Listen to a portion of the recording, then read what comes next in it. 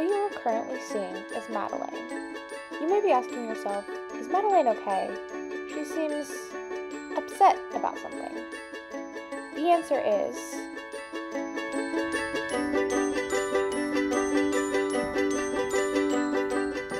Madeleine refused to show any emotion.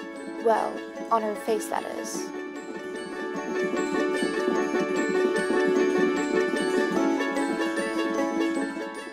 Madeleine expressed her emotions entirely through balloons. Her parents tried everything when she was a child. Eventually, they just left her alone.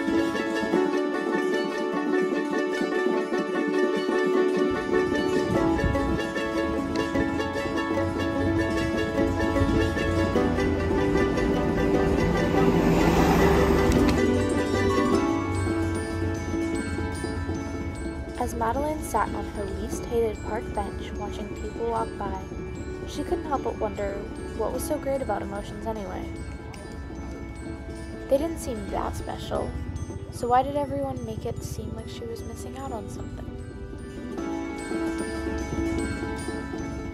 Madeleine knew what she had to do. She had to do research, understand the experience of emotions.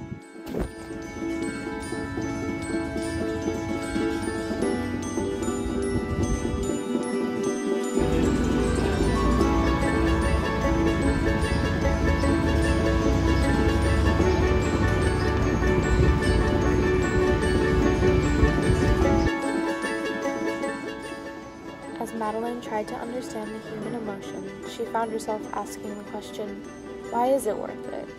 She had watched plenty of people suffer through emotions, her mother, for example.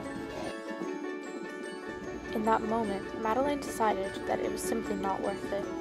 She'd continue living the way she had been. It had always worked, hadn't it? Madeline was satisfied with her decision. She never should have doubted it in the first place. Emotions were for the weak, after all.